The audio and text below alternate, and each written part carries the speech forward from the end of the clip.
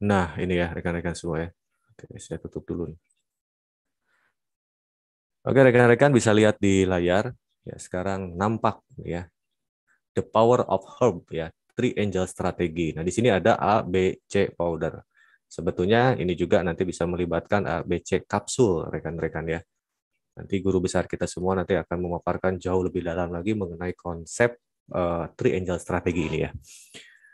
Oke, selanjutnya Nah, di sini ya, sesuai dengan yang kita ketahui bahwa di dalam tahapan terapi gusmus raksa jasad, rekan-rekan, yang menurut saya tidak juga di, tidak diketemukan di asosiasi atau perkumpulan yang lain yaitu mengenai konsep ini nih ABC ini ya activating kemudian juga balancing dan cleansing.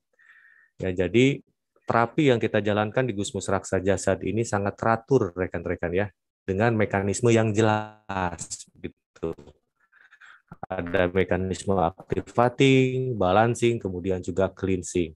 Jadi ini satu sama lain saling terkoneksi ya, saling terhubung satu sama lain rekan-rekan. Jadi tidak bisa dipisahkan ya. Kalau kita ingin mendapatkan nanti hasil yang efektif. Satu kali, dua kali terapi mungkin efektif rekan-rekan, tapi hasilnya akan jauh lebih efektif jika kita menggunakan ketiga pendekatan ini. Nah, di sini ada sedikit penjelasan ya activating. Nah ini ya, activating atau juga bisa disebut sebagai penguatan. Ini adalah sebuah proses menguatkan sistem organ di dalam tubuh atau sistem apa pun yang ada di dalam tubuh kita agar tercipta sebuah mekanisme sistem organ yang dapat berjalan sesuai dengan fungsinya masing-masing. Ya, jadi ini secara garis besar activating ini disebut juga sebagai penguatan ya atau dalam bahasa lain disebut juga sebagai tonikum ya, tonifikasi penguatan.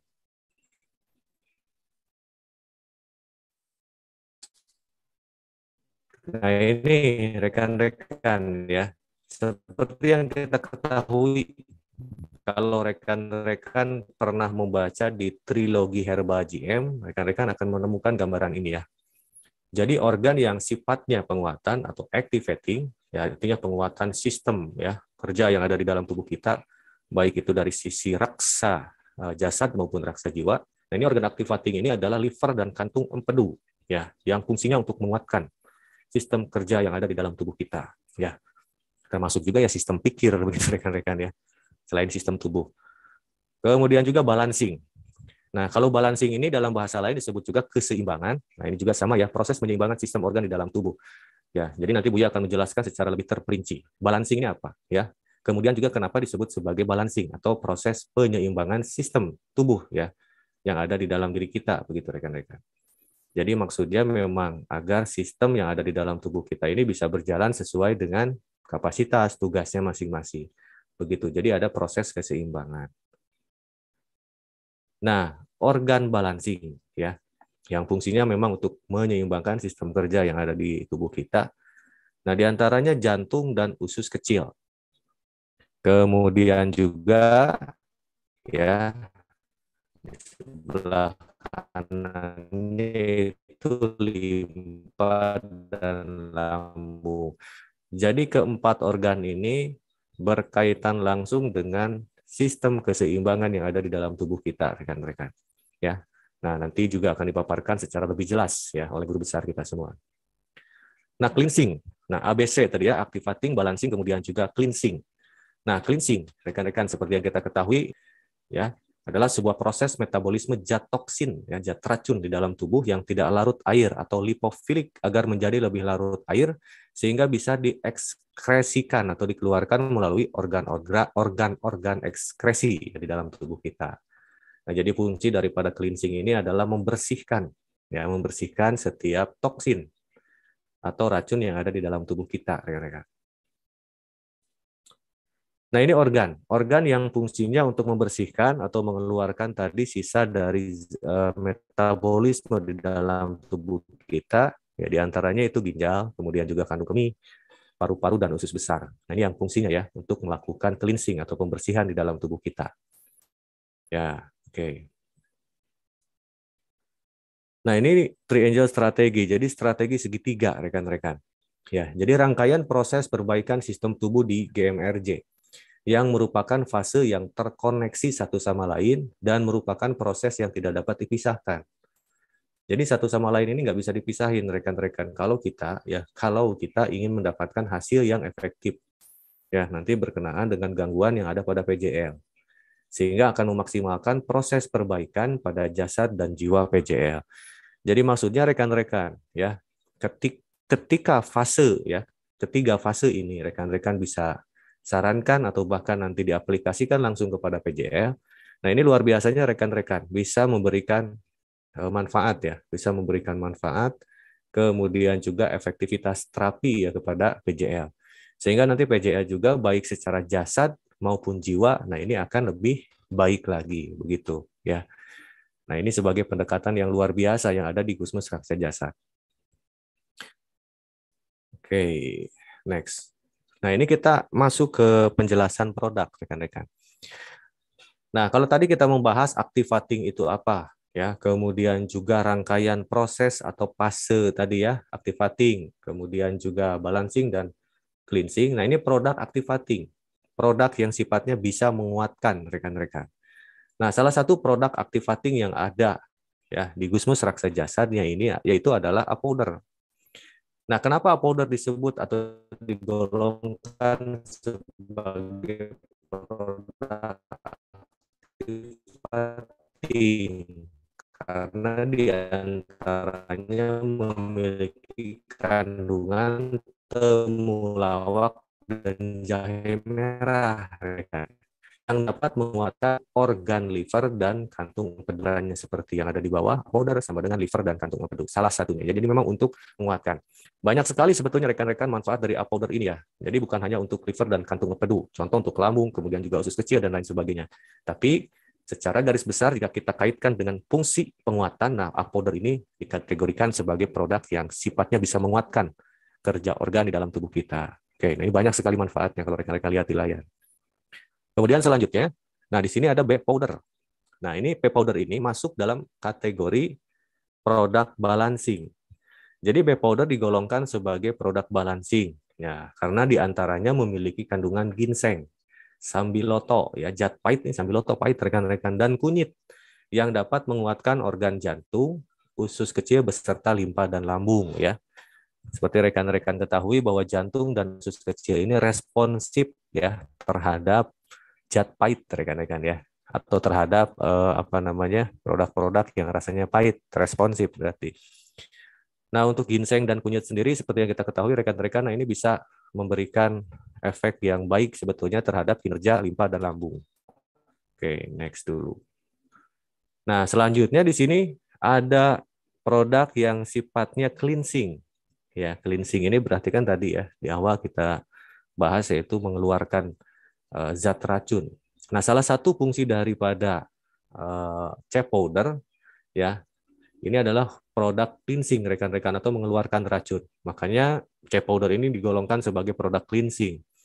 Nah, karena di antaranya memiliki kandungan sarang semut, ya daun sirsak, mahkota dewa, binahong. Nah, yang dapat mengeluarkan, eh, menguatkan rekan-rekan menguatkan organ-organ tadi yang sifatnya cleansing. Di antaranya yaitu organ paru, usus besar, beserta ginjal dan kandung kemih. Dengan mengkonsumsi C powder yang tepat, rekan-rekan otomatis nih organ-organ cleansing ini bisa berjalan dengan baik. Sehingga dalam proses pengeluaran racunnya gitu ya, baik paru usus besar, eh, ginjal dan kandung kemih ini bisa maksimal begitu ya. Jadi rumusannya seperti itu rekan-rekan. Bagaimana kita menguatkan organ cleansing agar organ cleansing ini bisa bekerja secara maksimal. Salah satu produk yang cocok adalah chef powder. Sebetulnya banyak ya produk-produk cleansing di kita. Cuman sekarang step by step kita bahas dulu chef powder. Nah, ini kita masuk ke perlambang. Ya, Nah, seperti yang sudah kita apa namanya eh, bahas sebelum-sebelumnya rekan-rekan, tentunya apa pun yang ada di kita nih di Gus Musraksa Jasad selalu selalu ya terkait langsung dengan filosofi kehidupan kita rekan-rekan ya. Karena di Gus Musraksa Jasad ini bukan hanya sekedar perkumpulan atau wadah saja, tapi juga berkenaan dengan penataan diri. Otomatis rekan-rekan memiliki dan selalu memiliki nilai-nilai filosofi dalam kehidupannya. Ini sebagai pegangan rekan-rekan. Nah, secara pasti alam, ya sudah kita bahas tadi rekan-rekan dalam proses melakukan terapi diperlukan adanya fase yang terhubung satu sama lain sehingga akan meningkatkan keefektifan, keefektifan proses terapi dan manfaat yang dirasakan oleh PJL. Tadi di antaranya yaitu activating, balancing, kemudian cleansing. Nah, ketiga fase tersebut urutannya dapat disesuaikan dengan kebutuhan dan kondisi dari PJL tentunya rekan-rekan. Mana yang butuh diaktifasi dulu, PJL mana yang butuh di cleansing dulu. Namun akan efektif apabila keseluruhan dilaksanakan begitu pula dalam hal pemberian produk. Ya, akan lebih efektif ya jika urutannya dilaksanakan. Begitu. Produk A, B, dan C powder merupakan paket komplit dalam memberikan saat ini produk kita sifatnya stimulator rekan-rekan ya untuk memberikan efektivitas dalam melakukan terapi. Begitu ya. Jadi faktor pendukung yang sangat kuat yaitu dengan adanya asupan produk. Ya. Nah, kemudian secara pasti budaya. Nah, ini ya, triangle strategi. Nah, ini merupakan strategi efektif dalam meningkatkan potensi terapis. Nah, kita kaitkan rekan-rekan dengan kebutuhan ya, dengan kebutuhan Eh, kehidupan kita tentunya rekan-rekan yang kita kenal sebagai lima aspek kehidupan. Ya. Nah, dalam arti three angel strategi berkaitan dengan rumusan 3300 ya. Kita jangan lihat 3300-nya ini sebagai sebuah pergerakan rekan-rekan ya. Sebagai bukan sebuah bukan hanya sebuah tindakan, tapi di sana juga ada sebuah urutan ya, urutan proses bagaimana cara kita menjalani kehidupan kita sehingga nanti akan lebih uh, efektif dan tentunya akan menemukan kenyamanan nantinya. Nah, di sini ada activating, merupakan proses awal ya, aktivasi. Activating ini kan memang starting ya kalau dalam bahasa lainnya. Ya. Aktif, diaktifkan ya, tombol aktifnya ada. Jadi merupakan proses awal aktivasi dari kemauan kita untuk bergerak. Ya, jadi pergerakan pun rekan-rekan ternyata ya di Gusmus Raksa Jasad selalu diawali dengan kemauan dulu nih. Ya, karena pergerakan tanpa kemauan gejed kalau kata Pak JJ gitu ya. Jadi pergerakan memang harus diawali dulu oleh kemauan. Jadi disadari, uh, didasari oleh kesadaran diri. Caranya yaitu dengan melakukan penjadwalan waktu dengan minimal tiga jam sehari. Nah ini kaitannya dengan nilai edukasi. Karena kita menjadwalkan diri, kemudian juga kita berkemauan diri, ya yang didasari oleh sadar diri tadi rekan-rekan. Ya kita bagi waktu minimal dalam sehari ini tiga jam. Artinya tiga jam ini rekan-rekan perlu kita cermati secara positif. Hanya tiga jam begitu ya. Kita kan waktu sama-sama ya. Pak Idrus 24 jam, saya juga sama 24 jam gitu kan. Uh, Bu Ana juga 24 jam. Nggak ada yang lebih, nggak ada yang kurang. Rekannya sama waktu. Dan kita hanya menyempatkan waktu selama tiga jam per hari. Nah ini memiliki nilai edukasi. Nah ini balancing merupakan proses menyeimbangkan keilmuan kita dengan cara mengaplikasikannya ke minimal tiga pasien sehari. Oke, minimal ya tiga pasien. Artinya kita komunikasikan apa yang kita memiliki ya kemampuan apa yang kita miliki kita komunikasikan. Sebetulnya rumusannya kan sederhana di sini hanya mengkomunikasikan. Terlepas nanti dia menjadi pasien tindakan kita atau mungkin hanya sekedar pasien komunikasi atau pasien konsultasi. Tetap rekan-rekan standarnya itu adalah pasien ya atau PJL. Jadi pasien atau PJL ini rekan-rekan kalau kita lihat artinya secara harfiah sebetulnya begini, komunikasi kan, komunikasi ini ada komunikar, komunikator dan komunikan. Dan kita sebagai seorang komunikator dan komunikannya adalah orang atau objek yang kita ajak bicara, makanya disebut sebagai klien PJL kemudian juga pasien ya. Jadi supaya cara pandang kita luas. Nah, ini kaitannya dengan nilai sosial dan spiritual ya nilai sosialnya jelas, kita berkomunikasi dan bersilaturahmi dengan orang lain yang baru, dan nilai spiritualnya jelas, karena kita ingin memberikan manfaat kepada orang tersebut. Kemudian cleansing. Nah, ini merupakan proses menyalurkan keilmuan yang kita miliki dalam bentuk menawarkan produk dan solusi atas produk tersebut. Nah, ini minimal tiga produk sehari. Artinya di sini ada penawaran. Karena begini rekan-rekan, ya menurut guru besar kita semua ya saya masih ingat ya, kata-kata beliau bahwa penjualan tidak disebut penjualan sebelum adanya penawaran ya artinya rekan-rekan konsepnya jangan dulu menawar uh, sorry menjual tapi menawarkan mengedukasi menawarkan sama dengan mengedukasi ya memberikan uh, apa yang kita pahami kepada calon PJL kita misalnya ya dalam hal produk. Nah ini kaitannya dengan nilai finansial dan kesehatan. Ya apabila kita bisa uh, closing ya apabila kita bisa memberikan manfaat kemudian juga orang yang kita ajak bicara mau membelinya ya ini kan ada nilai finansial. Kemudian juga kalau nilai kesehatan, ketika dia mau mengkonsumsinya juga kan ada nilai kesehatan di situ rekan-rekan. Jadi lima aspek kehidupan ini bisa eh, apa namanya kita serap rekan-rekan keseluruhannya jika kita melakukan activating, balancing, dan cleansing. Dan lakukan secara konsisten selama 100 hari. Ya, diusahakan. Begitu ya. Ya harus kalau kata guru besar kita semua. Nah ini rekan-rekan, the power of herb, ABC powder ya. Manajemen waktu ada dalam kendali kita. Jika kita bisa mengelolanya dengan baik, maka dapat menciptakan peluang yang sangat besar. Ya, dikembalikan bahwa Three Angel strategi ini adalah sebuah proses. Berkaitan dengan proses, maka maka berkaitan dengan waktu. Berkaitan dengan waktu, bagaimana caranya kita bisa memanage waktu sehingga proses dari three angel strategi tersebut ya bisa kita jalankan dengan nyaman, kita jalankan atas dasar kemauan kita. Begitu rekan-rekan ya untuk pembuka nih. Untuk pembuka untuk gambaran pembuka saya stop share dulu. Oke. Okay.